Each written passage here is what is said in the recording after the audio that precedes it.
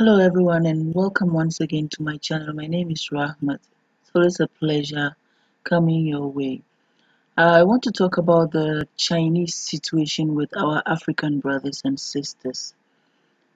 Okay, I'm just going to give you a recap of what has been happening.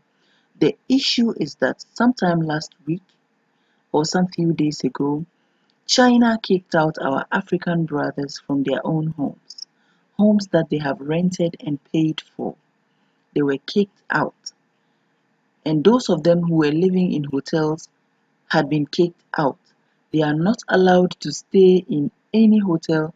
They are not allowed to board any public transport. They are not allowed to enter any public place to get food.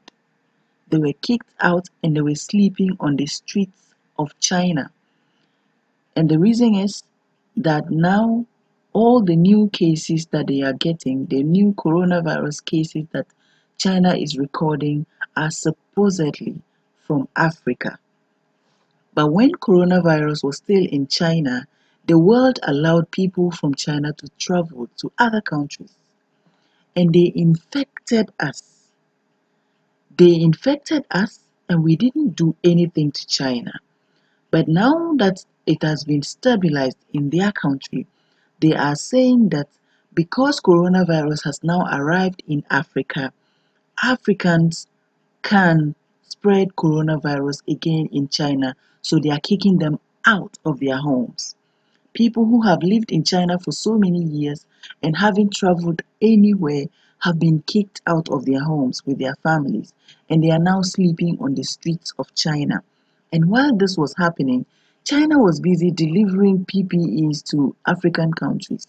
At the same time, China was deploying doctors to go help out in Nigeria.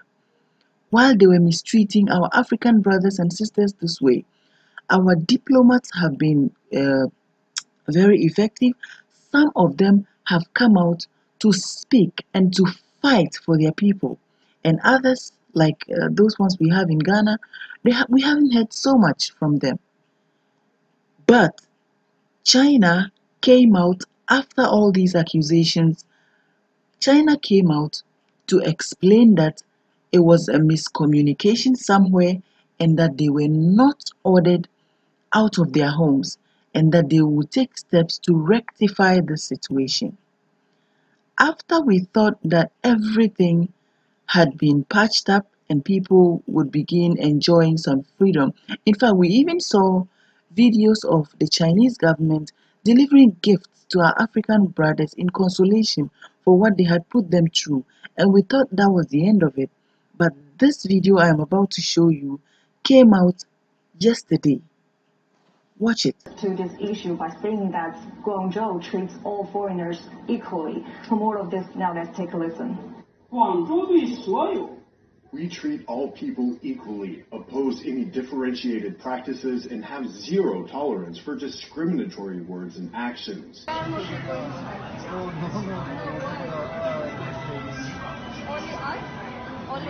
所以说我们就是来，我们就是在这个交流上面呢，方面说，你们都可以听听得懂。 Well, I can go. Yeah, yeah, 所以说有时候我们也可以来的。 I can go in. They cannot. 我这个是我 Come on. They can. Right? Okay. Okay. Oh my god, this is ridiculous. I'm sorry, I cannot help you. Really. Oh my god. living in Guangzhou since 2007, is now under quarantine in his own home. This is my fourth day in quarantine. If you want to buy some food or daily necessities, how will you do that? We order online, and then um, the community here, they have uh, the management, they have arranged someone, just inform them that uh, whatever I want to buy, and then they'll just go pick it from downstairs and bring it upstairs. And uh, also, they would come in to collect my trash. many people living together in one flat. So you're right about that. And so they were put in a situation where their instructions were, which were interpreted as eviction, which were really about social distancing, because they wanted people to live individually and or the right number of people in each flat. So you don't have too much crowding because you cannot deal with social distancing and you can't deal with the spread of COVID 19 when there's too many people living in one space. Because they wanted to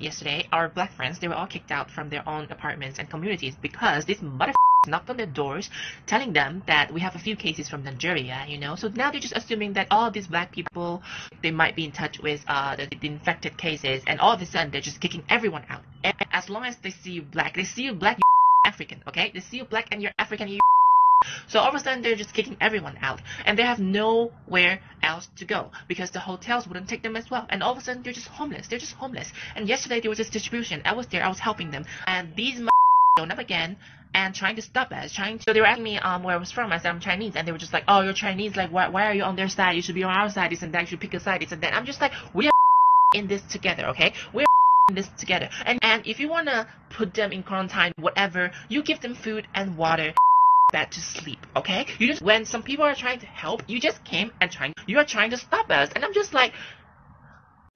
大家好，今天想跟大家说一下我们现在面临的另外一种病毒，就是歧视。我们知道，在疫情刚刚爆发的时候，全世界各地一些无良媒体以及不明真相的群众开始无端的指责以及谴责中国。当时中国是盛行了一个反对种族歧视的时时期。但是到了现在，呃，中国疫情基本控制住的时候，很多疫情都是新增疫情都是，呃，境外输入病例，所以现在全国又在盛行另外一种另外一种种族歧视。我很多朋友告诉我，他们在中国生活了五年到十年，一步都没有踏出过中国国门，但是他们却在疫情期间被禁止去超市，被禁止上公交，只因为他们是外国人。尤其是更多的黑人群体，他们开始在中国受到了前所未有的歧歧视以及指责，而且很多都是无端的指责。啊，有可能很多的中国人都不太清楚什么是歧视，因为在中国的教育以及中国的教材里边，并没有说什么样的行为以及什么样的言语才算是歧视。但我以我自己的理解，想在这里跟大家说一下：以个体的过错去论一个群体的责任。这就是歧视，所以我今天把这些问题向大家列出来，我是希望大家能够去重视我们现在身边的问题，不要再去煽动这些无脑的言论了。我们能够看到微博上有很多身带大 V 的博主，身带大 V 的这些用户，他们都在宣扬种族歧视的言论。有一个叫做“酷玩实验室”的公众号，他们在公众号上发布了一篇如何去清理洋垃圾的文章。但是我们看到其中有一些行为都不是外国人做的，为什么要把这些罪名加在他们头上呢？有有一两个坏人，这整个就所有的外国人都要被排斥吗？我真的是很不能理解，为什么这些公众号以及这些媒体要花这么大的时间去教人们如何恨一个自己今生一辈子都没有见过的人。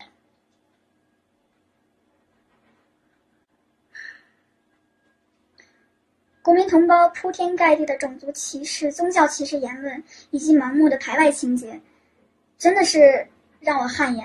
甚至有人在网络上说：“我只讨厌两种人，一种是种族歧视的人，另外一种是黑人。”啊，我真的是无语了。就难道不？没错，是有一些外国人，他们在中国的国土上不讲道理，违法乱纪。但我们要做的不是去谴责一整个群体、一整个民族，而是更好的去完善我们的法律，加大我们的执法力度，让每一个坏人在这片国土上都寸步难行，不让任何一个恶魔成为漏网之鱼。这才是我们应该做的。希望大家都能够放下对于任何一个群体的歧视，去做一个更有爱的、更善良、更正直的、懂得尊重的人。